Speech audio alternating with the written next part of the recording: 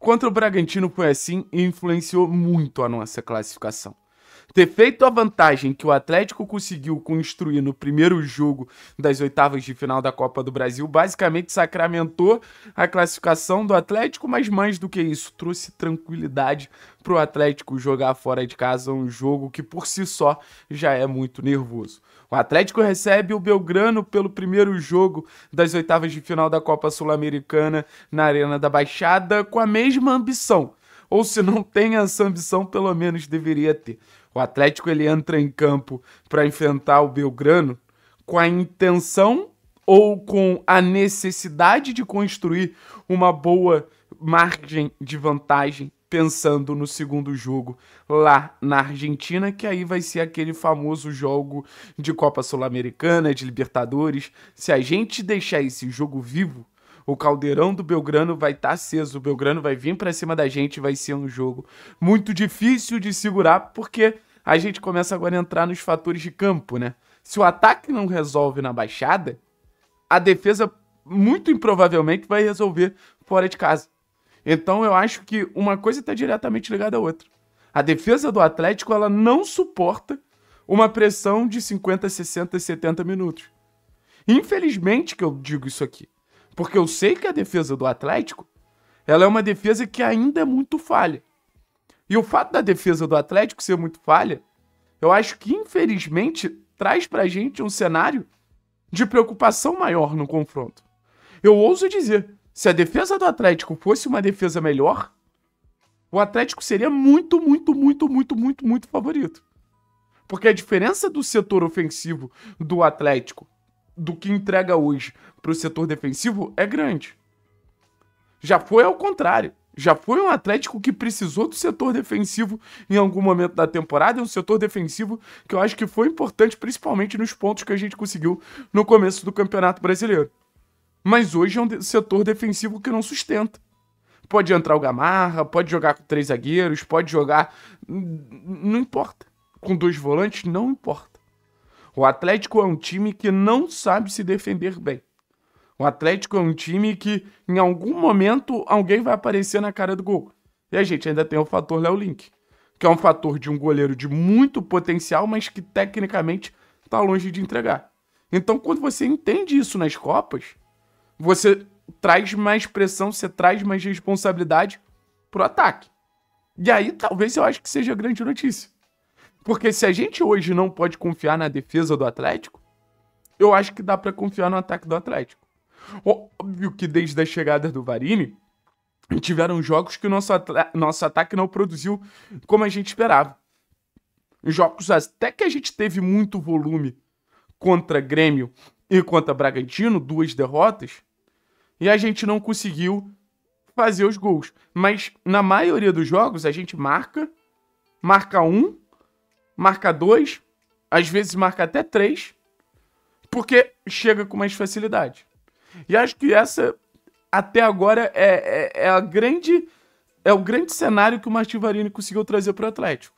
Um Atlético mais ofensivo, um Atlético mais agressivo, um Atlético que sabe atacar.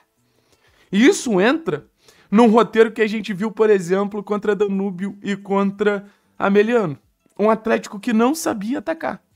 Um Atlético de pouco conteúdo, poucos movimentos coordenados, pouco jogo coletivo, sobrecarregando individualidades e fazendo com que atacar um, um time que está se defendendo virasse quase um trauma para o Atlético. O torcedor do Atlético ele ainda tem essa visão. Que o Atlético não sabe enfrentar uma retranca, que o Atlético não sabe enfrentar um bloco baixo. Mas eu acho que dá para dizer que a produção ofensiva do Atlético ela melhorou em todos os sentidos em repertório. Hoje o Atlético ataca pelos lados, ataca pelo lado direito, ataca pelo lado esquerdo. Tanto que você tem um protagonismo muito grande de Canobi e Coelho. Você tem a alternativa de usar os laterais. Esquivel já participou de gol com o Varini, Godoy já participou de gol com o Varini, o Eric já participou de gol com o Varini. Aí você ataca bem por dentro, usando seus jogadores mais técnicos. Christian já fez gol, Zapelli já fez gol. Fernandinho está sempre participando de gols das maneiras mais diversas. Você faz esses jogadores se encontrarem, se conectarem. A gente vai para esse jogo contra o Belgrano, eu acredito, com armas extremamente é, significativas para tentar machucar o Belgrano. A gente vai para enfrentar o Belgrano com um ataque que eu acho que depois de muito tempo o Atlético tem não um atacante, porque a gente teve o Vitor Roque, mas a gente tem um ataque muito bom. Depois de, de, de amadurecerem, depois de se consolidarem e se juntando ao Maestriani, perdão, o ataque do Atlético, depois lá de 2019, virou um Atlético muito sólido. Virou um ataque muito sólido. Então hoje, quando você vê o ataque do Atlético com o Coelho de um lado, Canóbio do outro, você sabe que esses jogadores eles podem produzir chances, criar situações. Coelho num contra um muito forte, Canóbio no, no, no Canóbio Ball ali, acompanhando muito bem as jogadas, muito inteligente para aproveitar os erros do adversário, e você ainda tem uma Maestriani muito matador. Então, assim, ter um ataque forte é uma característica dessa equipe. Mas esse ataque só funciona se o meio-campo funcionar. Aí você começa a olhar. Pô, o João Cruz vem de bons jogos, o Christian, nos momentos mais importantes, estava ali para marcar gols. O próprio Fernandinho, um dos principais organizadores do, do, do futebol brasileiro. Então você começa a ver que o seu meio-campo pode botar em condição esse ataque de ser um ataque muito bom. Aí você tem é, laterais como o, o, o, Lucas Esquivel, que aparece, que é uma solução ofensiva. Eu tô torcendo muito para as ultrapassagens do Lucas Esquivel. Acho que são, assim, situações de jogo que o Esquivel consegue proporcionar ao Atlético que, cara, podem desequilibrar ali, principalmente quando você vai ter uma marcação mais fechada, você precisa desse elemento surpresa. Durante muito tempo, nosso elemento surpresa foi o Eric pisando na área. E acho que não deixa de ser. Se o Eric tiver condição de pisar na área, se o Christian tiver condição de pisar na área, o João Cruz. Mas essa ultrapassagem do Lucas Esquivel não deixa também de ser um, um cenário que quebra esse sistema. Um cenário que, que, que faz o, o, o, Belgrano ficar um pouco perdido. Pô, o cara tá fazendo saída de três, tá aparecendo lá na frente. Então, assim, eu acho que a gente vai sentir muita falta do Zapelli, tá? Eu acho que é, que é o toque mais lúdico ali pra gente no nosso sistema ofensivo.